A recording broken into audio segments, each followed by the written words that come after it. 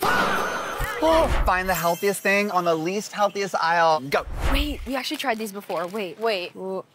Erythritol is the third ingredient. Goodbye. I'm scared. I think I chose something. I'm not sure. Zero sugar, nuts, Jolly Ranchers, all sorts of artificial sweeteners in it. This was your idea, dude. Oh my God. Quick, don't look at me. I'm not looking. Joyride. Joyride. I've heard good things about this. Allulose. Oh, four grams of added sugars. Honestly, this could be the best thing I've ever seen. Okay, I'll try this. Okay, are you ready? What'd you get? I think I won. Bruh. No, I'm kidding. What? I chose these. Oh, Smart Sweets. Okay, I got Joyride. First ingredient, Soluble corn fiber. isomalto. Isomaltooligosaccharide. Yes! Is that bad? It's a sugar substitute. Your blood sugar still rises. There's mixed studies on this. It has a little bit of delay in the rise, but it's really no better than sugar from what I've seen in the studies. Second, chicory root fiber. Ooh, that gives me the farts. Allulose. Water. Wheat flour. Modified potato starch. Oh, that's gonna spike blood sugar. Sugar. Four grams of added sugars. Zero added sugars. Oh. Stevia leaf extract. That's good. Fruit and vegetable juice for color, natural that's fruit good. flavors, and other natural flavors. Vegetable juice for color. Radish and carrots. We buy them and try them. Buy 'em and try 'em.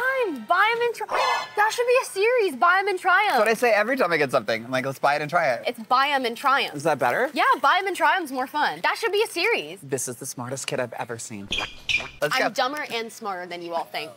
Okay, ready? Smells good. Oh, Oh, oh, sour pink lemonade. I don't think I want to try this anymore. Oh my god, my cheeks. This is so sour. I'm like salivating uncontrollably right now. This is insane. Ew, they're like greasy. Look at this.